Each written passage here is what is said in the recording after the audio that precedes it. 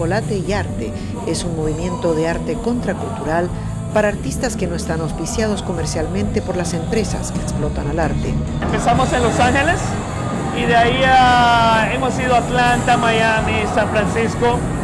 Ah, empecé de bartender de otros shows y entró la idea. Como ustedes pueden ver, este es el festival del chocolate y el arte. Aquí está el chocolate negro, chocolate blanco, está riquísimo,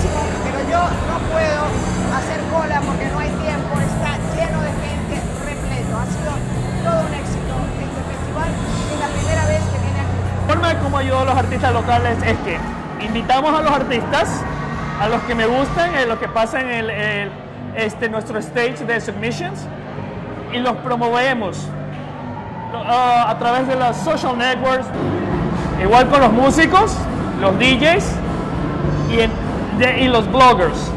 Tengo, yo trabajo mucho con, con, lápiz, entonces, y tengo mucho, como estudié historia en cuadrillo o historieta, entonces mis trazos son muy de historietas, ¿no? Esto, por ejemplo, es Link, que es un videojuego que jugaba mucho de niño y es un personaje que me encanta de Legend of Zelda. Uh, este es dedicado a una amiga que siempre me despierta algo muy sexual. Yo estoy aquí para, para mostrar las mías fotografías y es un evento muy importante para la comunidad.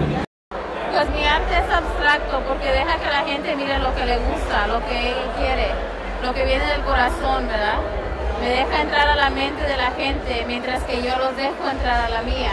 Orlando, cuéntame por qué tienes guitarras, ¿a eres músico? Porque las guitarras que yo lo compro, lo compro están quebradas y yo quiero darle otra vida y con, con, la, con la, pintura lo, lo, lo, saco la vida de las guitarras. Y aquí tienes este, pinturas que no son guitarras, ¿no?